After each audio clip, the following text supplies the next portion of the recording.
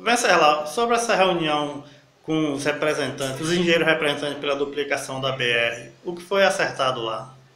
Olha, na verdade, o serviço da, da duplicação é começado na sexta-feira, dia 11, ou seja, 11 desse mês de é, setembro, né? E nós tivemos uma reunião, sim, com a parte de engenharia ambiental, engenharia de execução e o DENIT. E o que foi que nós tratamos? Nós tratamos da oportunidade a respeito é, algumas intervenções, a questão ambiental, muita preocupação da empresa e nossa, claro, e da cidade. Eles estão em contato com a prefeitura municipal e vão continuar em contato com as demais prefeituras, mas no tocante aqui a Conceição de Apuípe, nós sentamos, conversamos a respeito do Rio Seco, ali que sai, vai ter uma intervenção, ou seja, na rua Rui Barbosa, que sai a rua do cemitério chamada, então ali eles vão fazer um canalamento para poder é, fazer interligação com a, uma boca louca que ali na, na, na, BR.